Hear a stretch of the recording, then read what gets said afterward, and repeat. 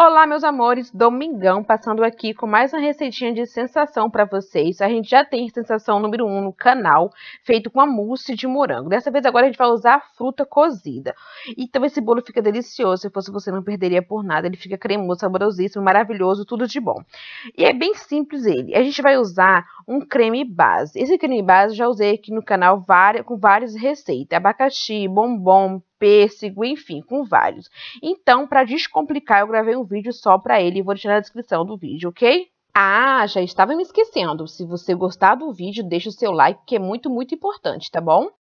Vamos usar nosso creme, nosso pão de ló que já tem no canal. Eu vou montar só seis, como sempre, depois eu termino e falo o resultado, a quantidade.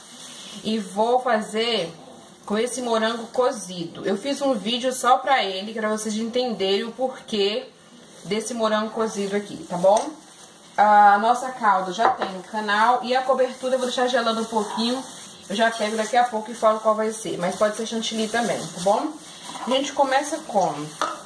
Colocando um pouquinho de nada do creme no fundo de todos os potes.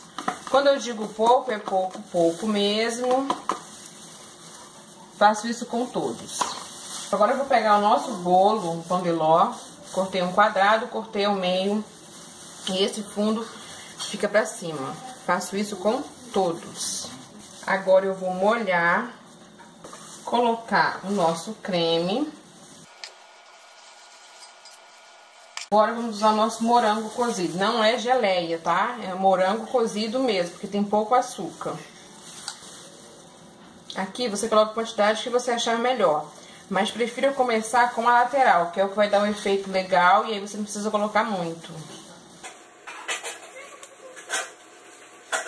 Olha, faço isso com todos. Pronto, agora a gente coloca mais uma camada de pão de ló. Molhar novamente. Quando o pão de ló é fresquinho, tipo fez no mesmo dia, não precisa molhar tanto, tá bom? Então, galerinha, na minha cobertura eu vou usar nata. Eu bati ela e deixei um pouco mole, porque eu gosto assim pra bolo no pote, tá bom? Até porque ela ganha mais consistência na geladeira. É, mas se vocês quiserem ver é, um ponto firme para bico ou para recheio de bolo, eu volto com outro vídeo para vocês, tá? A nata que eu usei foi essa aqui e eu bati com um pouco de leite condensado, ok? Eu gosto dela molinha porque fica fácil de espalhar em cima, tá? Não precisa colocar muito. Pronto, eu vou finalizar com chocolate blend ralado. Mas se você não tiver, prefira usar, deixa eu ver aqui, o meio amargo. Já que nosso recheio é doce, tá? Mas fique à vontade. É só colocar aqui em cima, lembrando, pode fazer com chantilly, um chantilly. Eu usei nata porque eu tinha esse pote de nata aqui, eu queria usar logo, ok? Já volto pra falar a quantidade total.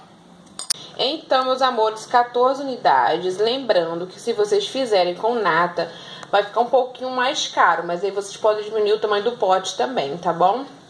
E eu não usei o creme todo. O creme dá pra fazer mais uns uns quatro bolo no pote, cinco. E aí eu posso, é, como ele é um creme que combina com vários recheios, eu posso fazer com outra coisa aqui. Eu tenho massa ainda, então eu vou utilizar, tá bom? Vejam isso, que delícia! Vamos comer? Gente, divino. Delicioso. Hum. Um azedinho. Com docinho. Com molhadinho da calda. Olha isso aqui, que tentação. Muito, muito, muito bom. Ó. Hum. Se você achou que mereço, deixa o seu like.